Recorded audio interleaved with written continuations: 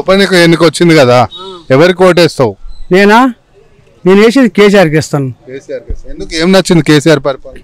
కేసీఆర్కా కళ్యాణ లక్ష్మి ఇస్తుండు. రైతు బంధు ఇస్తుండు. ఇరవై నెలల కరెంట్ ఇస్తుండు. సస్తా వస్తున్నాయి ఐదు లక్షలు. మళ్ళా ఆయన అభివృద్ధి వల్లనే చెరువు కుంటలు జరుగుతున్నాయి. ఏ ప్రభుత్వం చేసింది? మోడు వచ్చినాక జిఎస్ బిల్లు బిల్లు పెట్టి మొత్తం ముండ ఒప్పించిండు అన్ని రేట్లు పెంచిండు. అభివృద్ధి ఏం జరిగింది? మొత్తం నిత్యావసర వస్తువులు మొత్తం రేటు పెరిగినాయా? రేట్లు అన్ని పెరిగినాయి. నేను భయపడానికి జేజపడి పెడతా. ఏ అప్పుడు ఎంత రేట్లు? ఇప్పుడు ఎంత రేట్లు? ఉప్పులు పప్పులు ప్రతి ఒక్క దాని పెరిగినాయి. ఇప్పుడు నీకు ఇలా అప్పు లేకున్నా కూడా అప్పు చేసినా కూడా ఆ రైతు బంధువునికి పడుతుంటే అవి ఎంత సాగుతున్నాయి ఇప్పుడు ఇక్కడ మునుగోడు నియోజకవర్గానికి వస్తే కేసీఆర్ సహకరించలేదు అభివృద్ధికి. కాంగ్రెస్ వ్యక్తి గెలవడం వల్ల కేసీఆర్ అభివృద్ధికి సహకరించలేదు అంటున్నారు. అది ఎంతవరకు నిజం? ఈయన ఈయన రాజగోపాల్ రెడ్డి అప్పుడు డబ్బులు ఇచ్చో బయటపడ్డాడు అంతవరకు ఇక్కడ అవపడలేదు. స్పష్టంగా మళ్ళా అదే డబ్బుల వాసం వలన మళ్ళీ ఈ అభివృద్ధి దీన్ని దీన్ని వెనుక కొట్టాలని మళ్ళీ బరిలోకి దీనిన ఇప్పుడు అభివృద్ధికి ఓటేస్తావా? డబ్బులు చూసి ఓటేస్తారు అనుకుంటున్నావు జనాలు? ఇప్పుడా? ఇప్పుడు ఏమైనా కూడా మన రైతు బంధు ఉన్నోడు అది ఇవన్నీ తీసుకున్నోడు ఆడు ఓటు ఎన్నడు మారడు. కానీ ఆడు సొమ్ము తిన్నోడు ఆ భూమి పుట్టినట్టే. తిని ఓట అయినోడు ఉప ఎన్నికలు వచ్చినాయి కదా ఇది ఎంతవరకు కరెక్ట్ అనుకుంటున్నారు? రాజగోపాల్ రెడ్డి అభివృద్ధి చేసిండా? ఎవరికి ఇప్పుడు ప్రస్తుతం ఓటేస్తారు ఆయన రాజగోపాల్ రెడ్డి ఏం చేయలేదు. ఆయన సర్వేలకు వచ్చింది కూడా మూడే సార్లు. గెలిచి కూడా మూడు సంవత్సరాలు అవుతుంది. ఆయన మూడే సార్లు వచ్చిండు. ఈ జనాలు ఎవరైనా చెప్పగలుగుతారా? చెప్పురి. ఆయన ఎప్పుడు వచ్చిండు? ఏం చేసిండు మనకు? ఏం చేసిండు? ఏం చేయకుండా ఆయన పార్టీ మారిండు వేరే పార్టీలో పోయిండు. ఏంటిది అది? న్యాయం ఆయనది? అన్యాయమే ఆయనది. అంటే ఈ కేసీఆర్ ప్రభుత్వం సహకరించట్లేదు అభివృద్ధి చేయడానికి నిధులు ఇస్తలేదు అని ఇప్పుడు నేను రాజీనామా చేస్తే అభివృద్ధి చేస్తా అభివృద్ధి వస్తుంది ఆటోమేటిక్ అని చేసిన అంటున్నాడు. రాజీనామా ఎందుకు చేసినావు? దేనికోసం చేసినావు? నువ్వు చేసినావు నీ ఆస్తులు ఇట్లా ఉంచుకోవాలని చేసుకున్నావు నువ్వు. నువ్వు వేరే విధంగా అయితే చేయలేగా నువ్వు? నువ్వు వేరే పార్టీ పెట్టకపోయినావు నువ్వు అల్లకు ఎందుకు పోయినావు? నువ్వు అల్లకు ఎందుకు పోయినావు? దేనికోసం పోయినావు? నువ్వు వేరే దాంట్లో దిగుతా నీకు ఎదురుగా ఓట్లు నలుగురు. గెలుస్తూగా మళ్ళీ కూడా కాకపోతే. నువ్వు అలా పోయినావు. నువ్వు లంగవి దొంగవని తెలిసిపోయింది అక్కడ మాకు. నువ్వు లంగవి దొంగవని తెలిసిపోయింది. నియోజకవర్గంలో తిరిగిండా? పార్టీ ఆయన ఎప్పుడు తిరగలేదు. ఆయన ఎప్పుడు తిరగలేదు ఏది కూడా చేయలేదు. ఆయన ఏది కూడా చేయలేదు ఎప్పుడు కూడా తిరగలే ఆయన. వచ్చింది మూడే సార్లు ఆయన వచ్చింది కూడా. మూడు సంవత్సరాలు అవుతుంది. మూడు సంవత్సరాలు మూడే సార్లు వచ్చింది ఆయన. ఎక్కువ కూడా ఎన్నడూ రాలే ఆయన. కేసీఆర్ పరిపాలన విషయానికి వస్తే ఎట్లా ఉంది? కేసీఆర్దే మంచిగా ఉంది కేసీఆర్ రైతు బంధు వస్తుంది. కుంటోళ్ళకి పైసలు వస్తున్నాయి. భార్య భర్తలు చచ్చిపోయిన వాళ్ళకి వాళ్ళకి పైసలు వస్తున్నాయి. అందరికి ఇస్తుండు. తక్కువ ఏం చేస్తలేడు. మంచి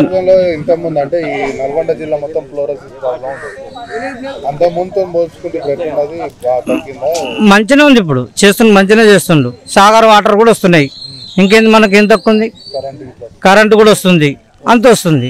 ఇక్కడ ఉప ఎన్నిక రావడానికి కారణం ఏంటంటే సొంత లాభాల కోసమే ఉప ఎన్నిక వచ్చింది. రాజగోపాల్ రెడ్డి చేయడం వల్ల మునుగోడు నియోజకవర్గానికి ఒరిగేది ఏం లేదు వచ్చేది కూడా ఏం లేదు. పోనీ నేను ఒక మూడేళ్ళ ముందు పోతున్నా అధికార పార్టీలో పోతున్నా లేకపోతే నాకు డెవలప్మెంట్ చేస్తే ఫండ్ ఇస్తలేడు మళ్ళీ నీ ఫండ్ ఇవ్వలే కాబట్టి నేను అదే పార్టీలో ఉండి చేస్తేనేమో దానికి ఒక విలువ ఉండే. ఆయన కాంట్రాక్ట్ల కోసం పోయిండు. ఇంకో విషయం ఏంటంటే ప్రతిపక్షం ఉన్న కాబట్టి నాకు డబ్బులు ఇస్తలేరు అనే మాట మాట్లాడుతుండు. ఇది వాస్తవమైన ముచ్చట ఆయన అంటుండు. నేనేమంటున్నంటే ఇదివరకు కేంద్రంలో కానీ రాష్ట్రంలో కానీ కాంగ్రెస్ పార్టీ ఉంది ఎంపీగా ఉండు. అప్పుడు ఎంత డెవలప్మెంట్ చేసిండు? డెవలప్మెంట్ పక్కకు పెట్టండి కానీ మనిషి ఎన్నిసార్లు వచ్చి కనపడడం అనేది జనంలో లేదు. మనిషి కూడా ముఖం కనపడుతుంది కూడా ఛాయిస్ లేదు ఆయనకు. రెండోసారి ఎంపీగా నిలబడ్డాడు ఓడిపోయిండు.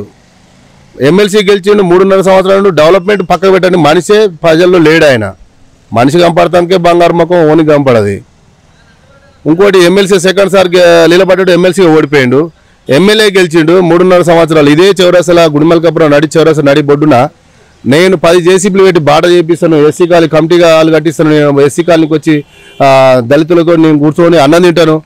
నేను నా సొంత నిధులతో గవర్నమెంట్ ఇవ్వకున్న సొంత నిధులతోటి గుడిమల్కాపురాన్ని ఒక తీర్చిదిద్దుతా అనే మాట మాట్లాడిపోయిండు. వీడియో కూడా క్లిప్పింగ్ కూడా మా దగ్గర ఉన్నాయి.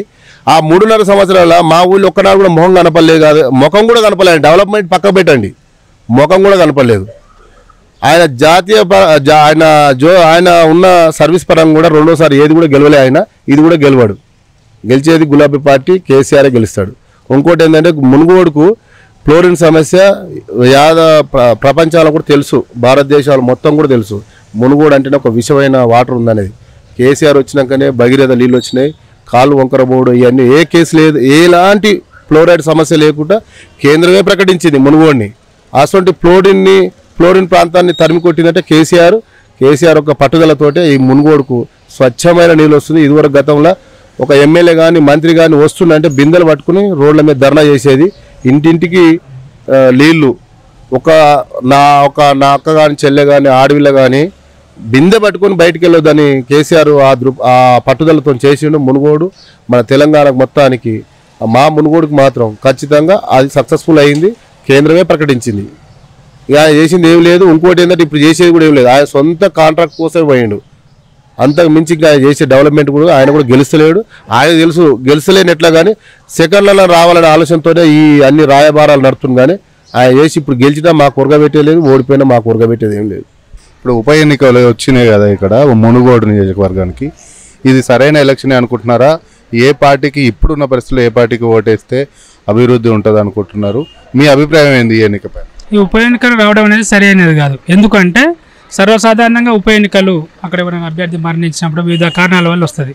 కానీ మునుగోడుకు జరుగుతున్న ఉప ఎన్నిక రాజగోపాల్ రెడ్డి తన స్వార్థం కోసం బీజేపీ పార్టీ నుండి కాంట్రాక్ట్ తీసుకోవడం తెచ్చుకున్న ఉప ఎన్నిక కాబట్టి ఆయన అభివృద్ధి జరగలేదు అన్న అంశం ఏదైతే ఉన్నదో మరి రాష్ట్రంలో బీజేపీ పార్టీ కూడా ప్రతిపక్ష పార్టీలోనే ఉన్నది. మరి కాంగ్రెస్ పార్టీ నుంచి అభివృద్ధి జరగలేదు అనుకున్నటువంటి రాజగోపాల్ రెడ్డి తిరిగి కాంగ్రెస్ పార్టీని అభి పోటీ చేయకుండా బీజేపీ పార్టీ నుంచి పోటీ చేయడం అనేది ప్రజలలో ఆయన వ్యక్తిగత స్వార్థం కోసమే పార్టీ మారినని అభిప్రాయానికి వస్తుంది. ఫర్దర్గా ఈ అభివృద్ధి విషయానికి వస్తే బీజేపీలో ఉన్న రాజగోపాల్ గెలిస్తే అభివృద్ధి సాధ్యపడుతుంది అంటారా టీఆర్ఎస్ గెలిస్తేనే ఫర్దర్గా మునుగోడు అభివృద్ధి చెందుతుంది అనుకుంటున్నారు? తప్పకుండా టీఆర్ఎస్ గెలిస్తేనే అభివృద్ధి జరుగుతుంది. ఎందుకంటే ఇప్పుడు మా గుడిమలకాపురం గ్రామం నుంచి మునుగోడు వరకు ఉన్నది ఏదైతే డబుల్ రోడ్ ఉన్నదో అది మన గత గత ఏయంలో కూర్చుండ ప్రభాకర్ రెడ్డి గారు ఎమ్మెల్యేగా ఉన్నప్పుడే మంజూరు అనేది దాంతోపాటుగా మా మా మా నియోజకవర్గంలో వెనుకబడిన నియోజకవర్గం కాబట్టి సుమారు ఒక ఐదు వందల కోట్ల రూపాయలతో అభివృద్ధి పనులు జరిగినాయి. అభివృద్ధి బాగా జరిగింది. కాకపోతే రెండవ పర్యాయం వారు టీఆర్ఎస్ అభ్యర్థి ఓడిపోయి రాజగోపాల్ రెడ్డి గారు గెలవడం వల్ల అభివృద్ధి పూర్తి కాకుండా కనీసం వారు నియోజకవర్గానికి కనీసం నియోజకవర్గానికి వారి సమావేశాలు కూడా హాజరు ప్రజలను కలుసుకోవడం పక్క పెట్టి అధికారిక సమావేశాలు హాజరు కాలేదు కాబట్టి అబ్సల్యూట్లీ హండ్రెడ్ పర్సెంట్ మా నియోజకవర్గం వెనుకబడిపోయింది. టీఆర్ఎస్ పార్టీ గెలుపుతోటి అది సాధ్యమవుతుంది. ఓకే ఇక్కడ ఈ బై ఎలక్షన్ మీద మీ అభిప్రాయం ఏంటి? ఎవరు గెలిస్తే ఫర్దర్గా మునుగోడు అభివృద్ధి చెందుతుంది? కూసుకుంట్ల ప్రభాకర్ రెడ్డి గెలిస్తే కేసీఆర్ గారి ద్వారా తప్పకుండా అభివృద్ధి జరుగుతుంది. అంటే ఆయన గెలవడం వల్ల ఇప్పుడు అభివృద్ధి జరుగుతుంది. కొత్తగా ఏం లేదు. కేసీఆర్ ప్రభుత్వం ఏర్పడిన తర్వాత తెలంగాణ వచ్చిన తర్వాతకి ఎన్నో అభివృద్ధి సంక్షేమ పథకాలు తీసుకొచ్చి ఇవాళ నీళ్ళే చూసుకో వాటర్ రైతులకు కరెంటు కానీ రైతులకు వ్యవసాయం చేసుకునే నీళ్ళు కానీ ఇళ్ళలో తాగునీరు కానీ మన ఇండ్ల దగ్గరికి ఎంత అద్భుతంగా వచ్చినాయో నీళ్ళ కోసం నిధుల కోసం కలవాడి తెచ్చుకున్న తెలంగాణలో ఇలా కరెంటును సాధించుకోగలిగినాం. ఒక్క నిమిషం ఇట్లా కరెంటు పోకుండా కరెంటును సాధించుకోగలిగినాం. వ్యవసాయానికి నీళ్ళు తెచ్చుకోగలిగినాం. మళ్ళీ తాగునీరు తెచ్చుకోగలిగినాం. రై- రైతు బంధు అయితేంది రైతు బీమా అయితేనేమి ప్రతి సాధించుకో అంతకంటే గొప్పది ఇంకేంటి అంటే దళితులకు దళిత బంధు. పది లక్షలు దళిత బంధు ఇచ్చి దళితులు వాళ్ళ కాలపైన వాళ్ళు నిలబడేలాగా ఇవాళ చాలా గొప్ప పథకాలల్లో ఈ ఈ పథకం అనేది ఇంతకుముందు ఏ ప్రభుత్వాలు ఆలోచించలేదు. ఏదో కంటి తుర్పు చర్యగా యాభై వేలు లక్ష రూపాయలు కార్పొరేషన్ లోన్ల కింద అది ఇట్లా పూర్తి స్థాయిలో అన్ని ద- అందరి దళితులకు అందలేదు. కానీ ఈ ఈ దఫలో కేసీఆర్ గారు తీసుకున్న నిర్ణయం చాలా గొప్పది. చరిత్రలో ఎన్ని రోజులకైనా నిలిచిపోయే నిర్ణయం అది. పది లక్షల రూపాయల దళిత కుటుంబాలకు ఇచ్చి వాళ్ళ కాళ్ళ మీద వాళ్ళు నిల్చొని సొంతంగా ఉపాధి కల్పించుకొని బతకడానికి బతుకుదేరు బతుకుదేరును చూపించిండు. ఈ పథకం చాలా గొప్పది. దీంతో పాటు ఇంకా అనేక సంక్షేమ పథకాలు ఎన్నో ఉన్నాయి. కళ్యాణ లక్ష్మి కానీ షాదీ ము- ముబారక్ కానీ పింఛన్లు ఇచ్చే విషయంలో కానీ వికలాంగులకు వితంతువులకు పింఛన్లు ఇచ్చే విషయంలో కానీ గతంలో ఓన్లీ ముసలి వాళ్ళకు మాత్రమే ఇచ్చేది. కానీ ఈ వితంతువులు ఇట్లా ఒంటరి వాళ్ళు అవుతారు ఆ ఒంటరి మహిళలకు ఇట్లా సహక సహాయం అందాలి. వాళ్ళకి సహాయ సహకారాలు అందాలని చెప్పి అట్లాంటి వాళ్ళని ఇట్లా తీసుకొచ్చి పెన్షన్లు ఇచ్చిన ఘనత కేసీఆర్దే. కేసీఆర్ ప్రభుత్వంలో అభివృద్ధి చాలా అంటే చాలా. మిగతా ప్రభుత్వాలకు ఈ ప్రభుత్వాలకు పోల్చుకుంటే చాలా అభివృద్ధి జరిగింది. ఇక బీజేపీ గురించి అంటే బీజేపీ ఏమిచ్చింది తెలంగాణకు బీజేపీ? ఏమిచ్చింది తెలంగాణకు బీజేపీ అంటే రాయగోపాల్ రెడ్డికి ఇరవై ఒక్క వేల కోట్ల కాంట్రాక్ట్ ఇచ్చింది. మరి అదే అదే అట్లా ఇరవై ఒక్క కోట్ల కాంట్రాక్ట్ బీజేపీ ఒక క్యాండిడేట్కి ఇచ్చే కంటే అదే నియోజకవర్గ అభివృద్ధికి ఎందుకు ఇవ్వలేదు ఈ తెలంగాణ ప్రభుత్వానికి తెలంగాణకు తెలంగాణ ప్రజలకు తెలంగాణకు కేంద్ర నిధులు ఏమిచ్చింది? అది చెప్పాలి కదా. అది చెప్పకుండా నేను అభివృద్ధి కోసం రాజీనామా చేసిన అని చెప్పేసానంటే అది అది అది అభివృద్ధి కోసం రాజీనామా చేసినట్టు కాదు. ముమ్మాటికి ఆయన కాంట్రాక్ట్ల కోసం చేసిన రాజీనామా ఇది. ఉప ఎన్నికలు వచ్చినాయి కదా దీని మీద నీ అభిప్రాయం ఏంది? ఇది కరెక్టే ఏం అభిప్రాయం ఏం లేదే. ఇలా కేంద్రం నుంచి ఉన్నాడు డీజిల్ రేటు పెంచిండు డీజిల్ రేటు పెంచిండు గ్యాస్ రేటు పెంచిండు. సంవత్సరానికి ఇప్పుడు మూడే గ్యాస్ సిలిండర్లు అంటుండు. సంవత్సరానికి మూడు సిలిండర్లు గ్యాస్ సిలిండర్ ఎక్కడికి వెళ్ళి సాధ్యం? ఆరేడు పడుతున్నాయి మూడు సిలిండర్ల సాధ్యం అవుతుందా? ఆయన గుజరాతీ పాలన చేసిండు. గుజరాత్లో ఇప్పటికీ నీళ్ళ బిందెలతోటి నడుస్తుండు ఇరవై ఐదు ఏళ్ళ పరిపాలన మోడీది. ఏం చేసిండు ఆయన? ఏం చేసిండే? సరే కేసీఆర్ పదిహేను ఏళ్ళ పాలన పది పద్న పదమూడేళ్ళు పాలన అంతే. ఆయన చేసిన అభివృద్ధి ఈడు చేసిన అభివృద్ధి పథకాలు దాంట్లో చూపెట్టేవాను ఆ కాంగ్రెస్ పరిపాలన అప్పుడు బెటర్ లేదు ఇప్పుడు కూడా కేసీఆర్ పరిపాలన బెటర్ పర్వాలేదు. ఈ మోడీగాడు సెంటర్లో ఉండు. నీకు తెలంగాణకి ఏమైనా పీక్ పడేసిండా? రఘునందన్ రావు ఆడ గెలిచిండు. నేను ఎడ్ల బండి తెచ్చిస్తా రైతులకు ఏది ట్రైన్ వేపిస్తా అది వేపిస్తా అని అన్నాడు. ఇంతవరకు మరి రెండేళ్ళ సంది గెలిచి రఘునందన్ రావు మరి సెంటర్ నుంచి ఇన్ని తెచ్చి పెడతా అన్నాడు. ఏమైనా పెట్టిండా ఇంతవరకు? ఇట్టెల రాజేందర్ ఇప్పుడు గెలిచిండు. ఇప్పటి వరకు తెచ్చి ఏమైనా చేసిండా? ఇవాళ ఈయన ఎవరు మునుగోడు ఉప ఎన్నిక అయిన రాజగోపాల్ రెడ్డి. వాని కాంట్రాక్ట్ బేసి కిందికి ఇరవై రెండు వేల కోట్లకు అమ్ముడు పోయి ఇవాళ ప్రజలని మోసం చేస్తేందుకు మోసపడితే అన్నాడు. రాజగోపాల్ రెడ్డి గౌడ్స్కు లక్ష యాభై వేల చెక్ ఇచ్చి ఇప్పటి వరకు చెక్ ఓపెన్ కాలే. ఎడవీకి పడ ఏదో మునుగోడు కాన్స్టెంట్లకు అక్కడికక్కడ ఏం పోయిండో అది మనకు తెలియదు. ఇంతవరకు ఈ కాన్స్టెంట్లో ఇంతవరకు రాలే రాజగోపాల్ రెడ్డి. వచ్చి ఏం చేసిండు? ఇవాళ కేంద్రాల సరే నువ్వు గెలిస్తే సార్ పర్వాలేదు. ఇవాళ కేంద్రంలో గెలిచి నిధులు తెస్తావా? నీకు చేతన అవుతారా రఘునందరావు పీకి పడేసిన మాటలు మాట్లాడతాడు వాస్తవానికి. వాడు ఇంతవరకు వాని తాడు ఏమైనా తెచ్చిపెట్టిండా? రెండేళ్ళ మీరు రిపోర్టర్ ఎరికే అయ్యలో నేను రైలు బండి తెస్తా ఎడ్ల బండి ఇప్పిస్తా నీ సీసీ రోడ్డు ప్రతి గ్రామం చేపిస్తున్నాడు ఆ ఏరియా. ఇంతవరకు రూపాయి ఆమ్దాన్ చేసిండా.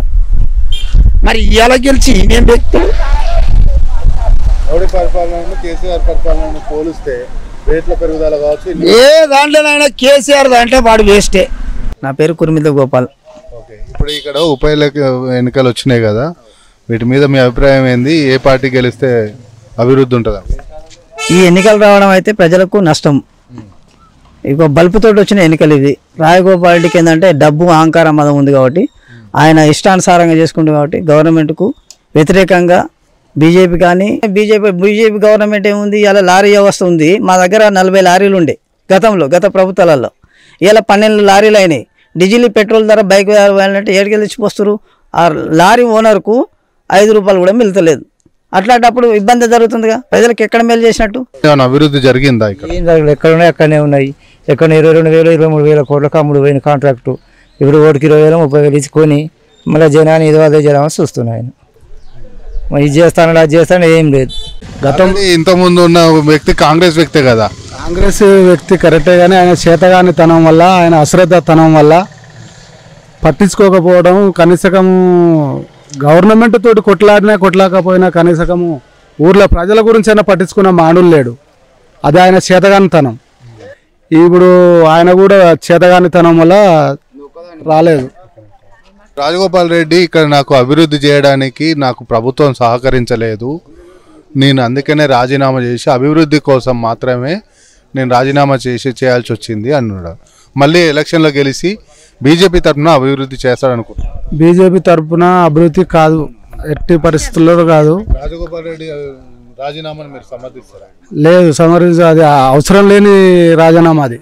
అవసరం లేని రాజీనామా. ఈ వన్ ఇయర్ సంవత్సరంన్నర అయితే మళ్ళీ ఎలక్షన్లు పెట్టుకొని ఇప్పుడు ఆయన స్వార్థం గురించి ఆయన చేసిన దాని గురించి రాజీనామా ఎలక్షన్లు మాత్రం అంత అవసరం లేనివి ఇవి.